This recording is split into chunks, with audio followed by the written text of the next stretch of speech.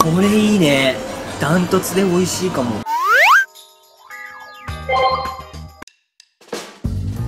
どうも三度の飯より前浜大好き KD チャンネルの K です。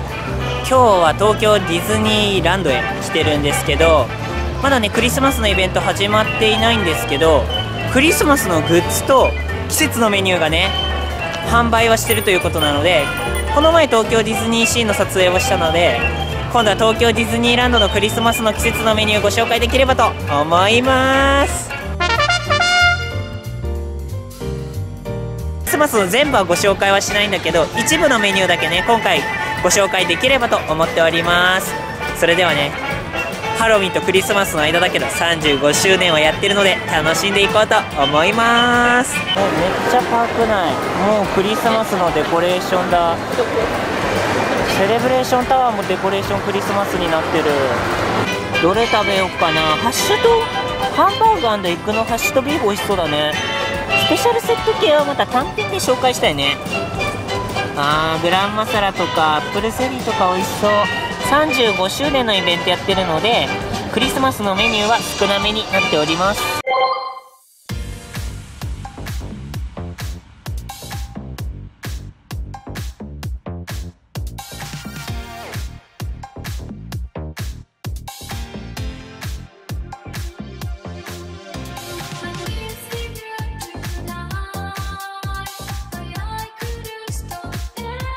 はいということでスーベニアが780円でした。スペシャルセットがねこちらが580円でした。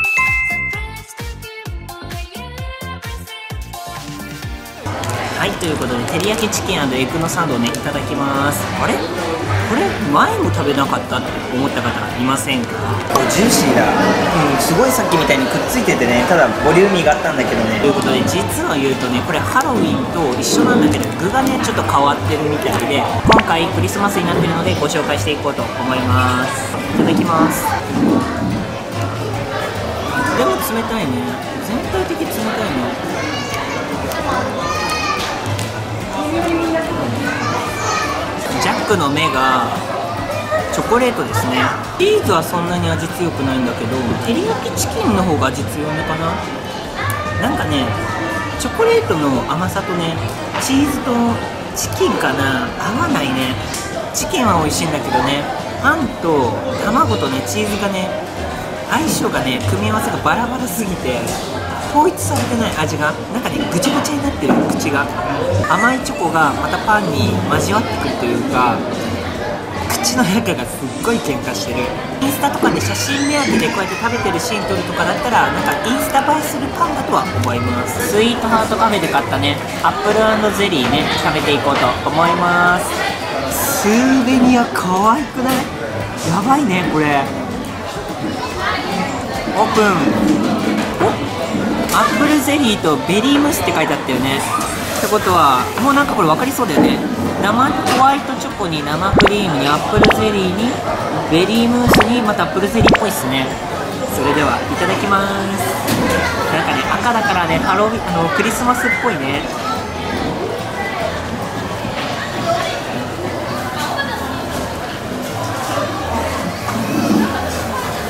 ベリーが強いね。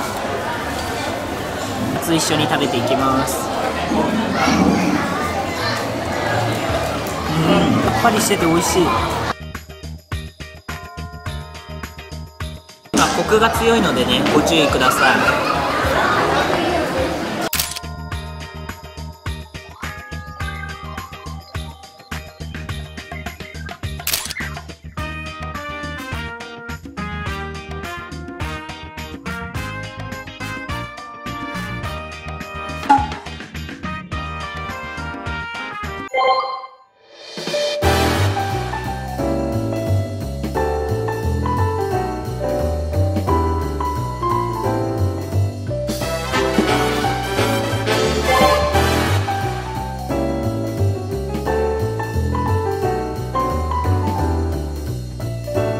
ドーナツ頼んでみました。ディズニーでドーナツって珍しいよね。またねクリストの衣装が可愛いね。裏面がなんかグッズとかになっているようなデザインですね。スイお結構小さいなドーナツ。これで350円か。ちょっと割高だな。ドライフルーツっぽいよね。ホワイトチョココーティングしてる感じかな。マンゴーとかオレンジ系だね本当にそこまで甘さは強くないからね食べやすいです。シンデレラ城のプラザのルートのワゴンでも売ってるんですけどそこって結構パレードルートの場所で混みやすいんですよね列ができて。てクレオズの方がティポトルタとかハニーハンドとか目玉がたくさんあってあんまり目立ってない場所にポツンってあって列ができてないことがあるのでそちらで買った方がもしかしたらスムーズに買えるかもしれないです。これ美味しいねとかってこうやって写真撮ったりするのもいいんじゃないですかね。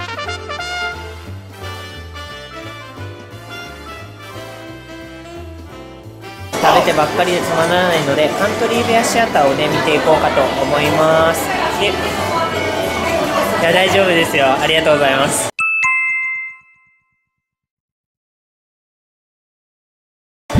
クリスマス仕様みたいなのでまたねそこも見せれれば嬉しく思います。それでは。見ていきます。花だって真っ赤っか。だからそいつは僕の歌だね。その話はケリがついてるはずだろ雪と遊んだらみんなバラ色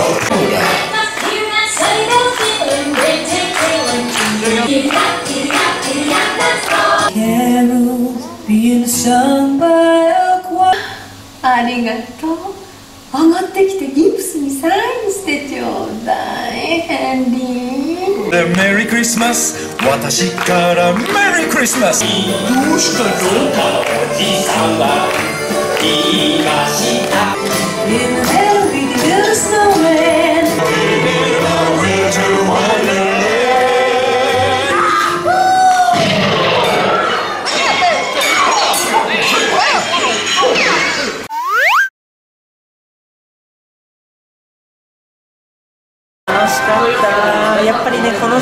カントリーベアシアターたまらなく好きです。知ってるこれ楽屋とかになってるんだよこの3人組の。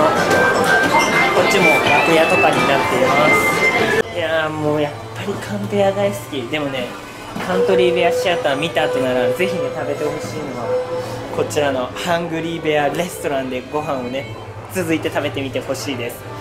こちらねあの冬のディズニーのクリスマスのメニューがあるみたいなので続いてはねこちらで食べていこうと思います。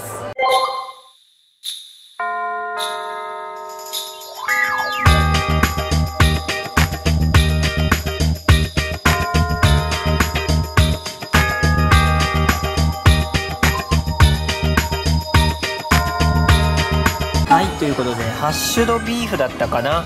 すごいねラージサイズのみだって。結構大きめです。で1280円でした。であとはねお水で飲んでいこうと思います。でハングリーベアは最高。あのねカンベアに出てる出演者たちもねあの出演終わったらねハングリーベアレストランに来てご飯食べてるみたいですよ。それではいただきます。うわ。湯気見て湯気。湯気がすごい。あレトルトの味しないハンバーグそんなに。ディズニーのハンバーグって結構レトルトな感じするんだけどハングリーベアのはしないね。これプラザパビリオン結構するって思うんだけどこれしないね。だね。ルーをいただきます。うん。じゃないね。うん。林って感じだね。甘い、甘口。これいいね。ダントツで美味しいかも。なんかさっきの580円に払うぐらいだったら700円追加してがっつり食べたいね。林と卵はねそんなに喧嘩してないですね。まろやかになる。美味しいです。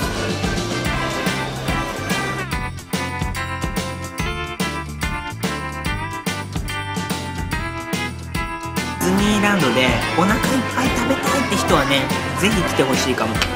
だってなんだかんだでハンバーグも入ってるからね。ビーフとハンバーグだからね。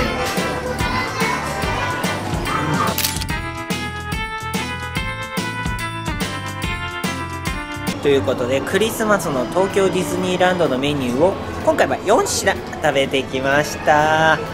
いやーねクリスマスもね35周年がねメインになっちゃってるから季節のメニュー少なめなんですよね。まあでもね本音言えばこういうリピーターの方ってい異例だもんね。